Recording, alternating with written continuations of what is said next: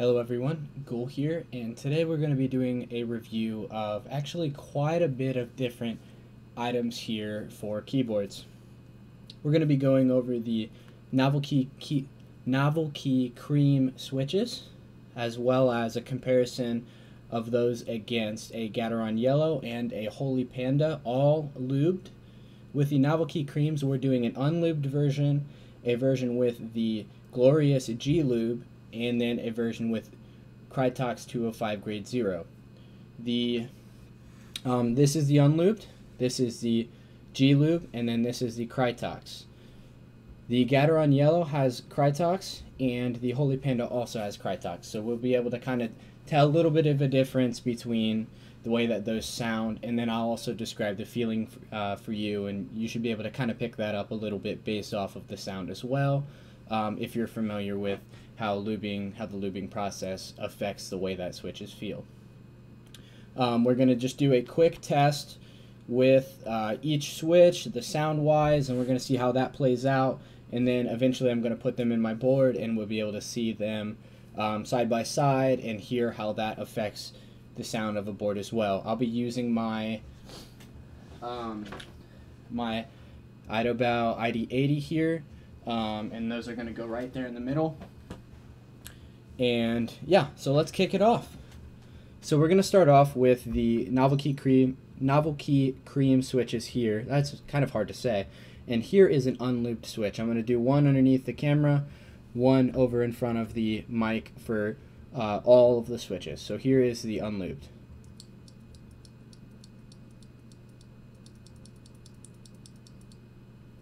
As you can tell, there's quite a bit of um, pinginess to it. The return of the stem is rather loud, um, and they're quite scratchy. Uh, a lot of people have told me that um, you know these are very smooth switches. I've seen this in a lot of different videos uh, on many different forums, but in my experience, these are actually quite scratchy when not lubed.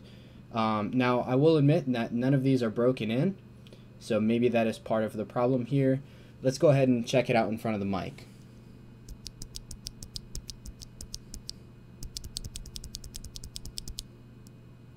That is the unlubed switch. Again, I would say it's rather scratchy. The spring inside is quite a bit pingy as well. Um, it is definitely better than the Gateron Yellow unlubed uh, that I, you know, in my experience. But, you know, I digress. So we're going to move into the G Lube. So this is kind of also going to serve as a, you know, as a G Lube review against Krytox 205 grade 0, a very common switch lubricant. The nice thing about G Lube is it's like 12 bucks for this massive container. I spent maybe $10 on this little tiny 2 milli, I believe it's 2 milliliter versus 10 milliliter. So, you know, you get a lot more with the G Lube. It may not be quite as good depending on your preference, um, but we're going to go ahead and see how that works. So here is the G Lube.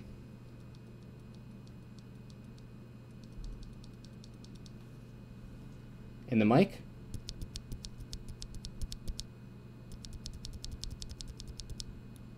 There you go.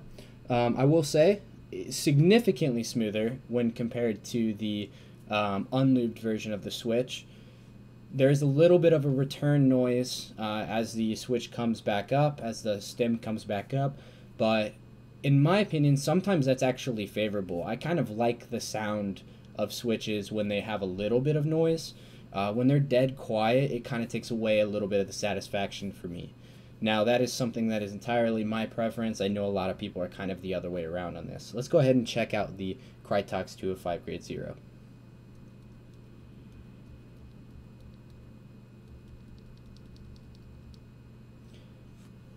In the mic.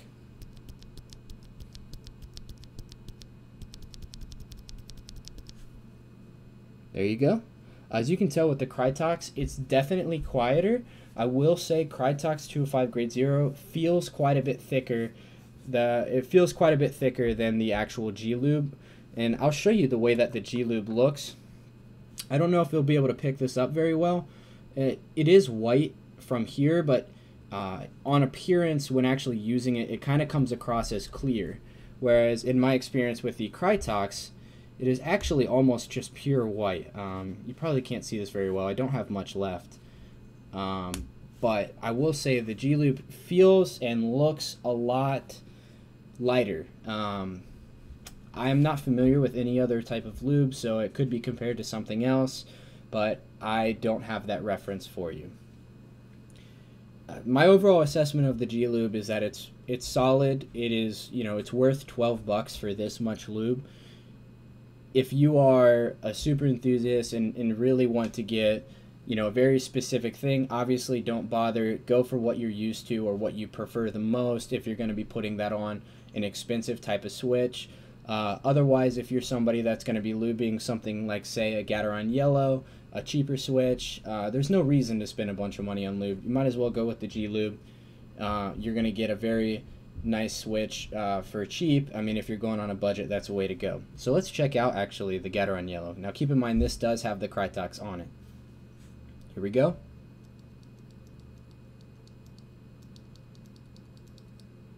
In the mic.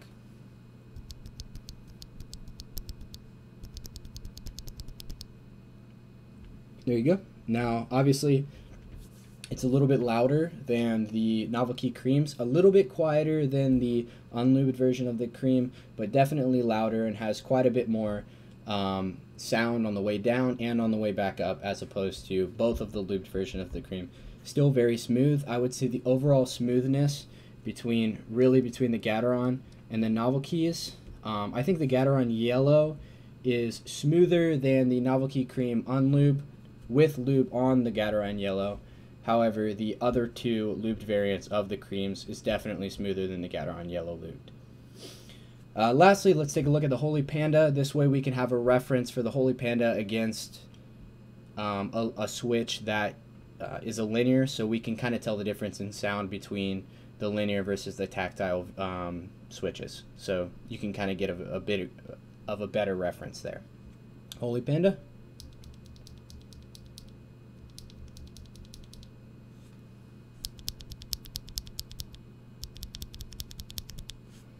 Holy, Holy Panda has a, a, significantly more clacky noise.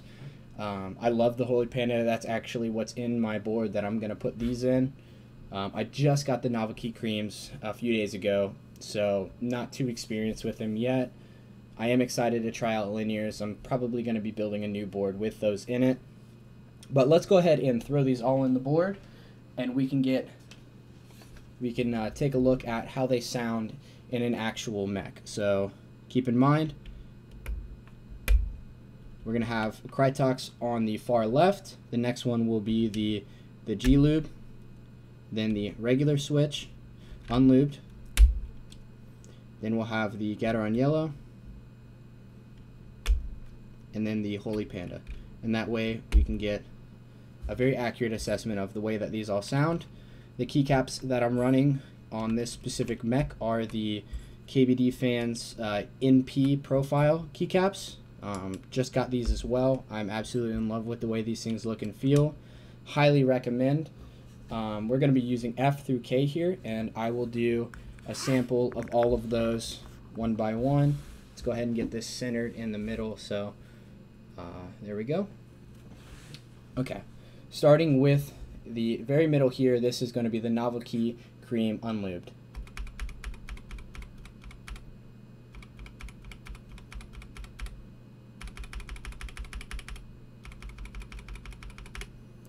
There we go. Let's go for the Novel Key Cream lubed with G-Lube.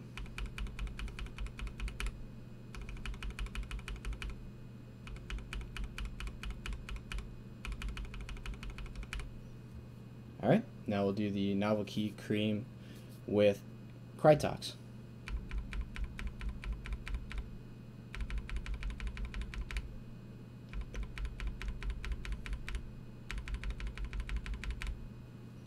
Um, between the three, I'm going to do a quick uh, two tap of each so you can kind of get the sound side by side.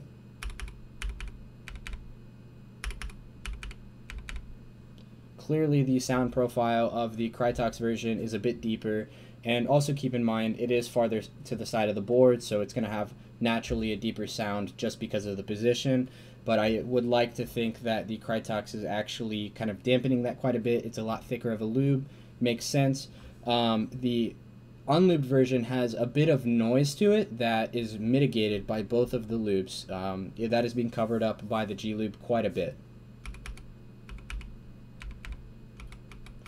It's that scratchy pingy noise that you get from the slider of the stem going down as well as the spring in there. Now let's try the Gateron Yellow.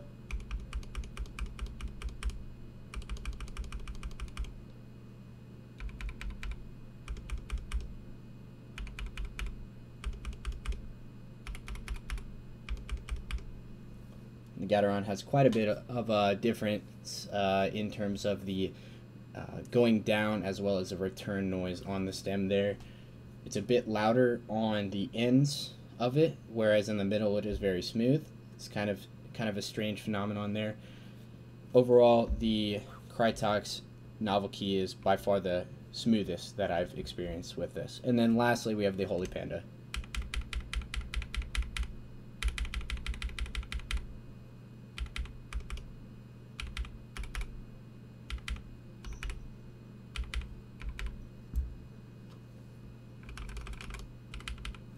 We'll do some Holy Pandas here. Much louder.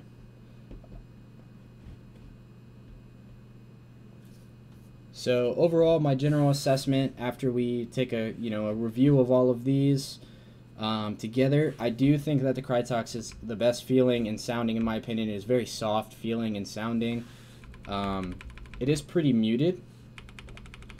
If you prefer a faster switch, the G-Lube is kind of the trick if you want a nice solid fluid sound um, that has no pinginess to it. The G-Lube does a good job.